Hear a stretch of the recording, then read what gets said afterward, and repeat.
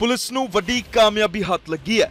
Australia made ਹਥਿਆਰਾਂ ਦੇ ਨਾਲ ਲਾਰੈਂਸ ਦੇ ਖਾਸ ਬੰਦੇ ਗ੍ਰਿਫਤਾਰ ਕੀਤੇ ਗਏ ਨੇ। ਜੀ ਹਾਂ, ਸ਼ਾਰਪ ਸ਼ੂਟਰ, ਜਿਨ੍ਹਾਂ ਦੇ ਕੋਲ ਆਸਟ੍ਰੇਲੀਆ ਮੇਡ ਹਥਿਆਰ ਨੇ। ਬੰਬੀਹਾ ਗੈਂਗ ਦੇ ਖਾਸ ਇਹਨਾਂ ਦੇ ਨਿਸ਼ਾਨੇ ਤੇ ਸੀ। ਇਹਨਾਂ ਨੇ ਥੋੜੇ ਦਿਨਾਂ ਨੂੰ ਕਾਂਡ ਕਰਨਾ ਹੀ ਸੀ ਕਿ ਪੁਲਿਸ ਨੇ ਪਹਿਲਾਂ ਹੀ ਇਹਨਾਂ ਨੂੰ ਕਾਬੂ ਕਰ ਲਿਆ। ਦੱਸ ਦਈਏ ਕਿ ਸੱਟੇਬਾਜ਼ ਦਾ ਕਤਲ ਬੰਬੀਹਾ ਗੈਂਗ ਦੇ ਬੰਦਿਆਂ ਵੱਲੋਂ ਕਰਵਾਇਆ ਗਿਆ, ਜਿਸ ਤੋਂ ਬਾਅਦ ਬੰਬੀਹਾ ਗੈਂਗ ਲਾਰੈਂਸ ਦੇ ਨਿਸ਼ਾਨੇ ਤੇ ਹੈ। ਲਾਰੈਂਸ ਗੈਂਗ ਦੇ ਪੰਜ ਸ਼ਾਰਪ ਸ਼ੂਟਰ ਪੁਲਿਸ ਦੇ ਵੱਲੋਂ ਗ੍ਰਿਫਤਾਰ ਕੀਤੇ ਗਏ ਨੇ। ਗੈਂਗਸਟਰ ਕੌਸ਼ਲ ਅਤੇ ਬੰਬੀਹਾ ਗੈਂਗ ਦਾ ਖਾਸ ਇਹਨਾਂ ਦੇ ਨਿਸ਼ਾਨੇ ਤੇ ਸੀ। ਸੱਟੇਬਾਜ਼ ਸਚਿਨ ਦੇ ਕਤਲ ਤੋਂ ਬਾਅਦ ਲਾਰੈਂਸ ਦੇ ਨਿਸ਼ਾਨੇ ਤੇ ਸੀ ਕੌਸ਼ਲ ਗੈਂਗ।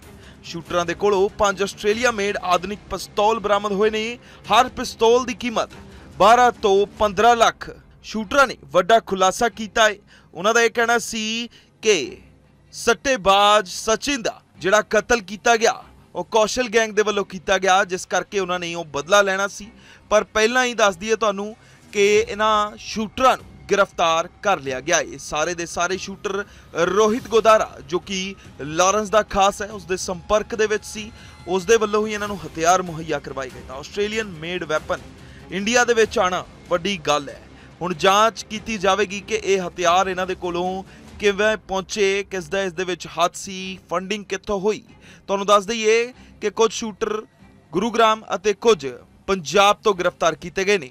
ਦੋਹਾਂ ਸਟੇਟਸ ਦੀ ਪੁਲਿਸ ਦੇ ਵੱਲੋਂ ਇਹ ਸਪੈਸ਼ਲ ਆਪਰੇਸ਼ਨ ਚਲਾਇਆ ਗਿਆ ਅਤੇ ਇਹਨਾਂ ਛੋਟੀ ਉਮਰਾਂ ਦੇ ਸ਼ਾਰਪ ਸ਼ੂਟਰਾਂ ਨੂੰ ਗ੍ਰਿਫਤਾਰ ਕਰ ਲਿਆ ਗਿਆ ਹੈ।